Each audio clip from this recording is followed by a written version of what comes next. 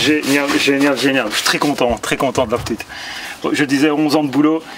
Et bon voilà, c'est du mérite et, on y est arrivé et ça marche, ça marche d'enfer. Des petites choses qui ne vont pas, hein. tu vois ici il y a des, fuites d'essence un peu partout, ce qui est pas bon parce que ça fait pas bon ménage avec la batterie qui est là et qui peut faire une étincelle. Bah, à part ça, euh, je crois que il lui en faudra pas grand chose pour être prête pour, euh, pour le grand jeu. Mais je suis heureux, heureux vraiment de, de, la faire revivre comme on l'a fait aujourd'hui. Et à mon avis, elle-même ne s'y attendait vraiment pas du tout. Et moi non plus. Ça va très fort. Très très fort.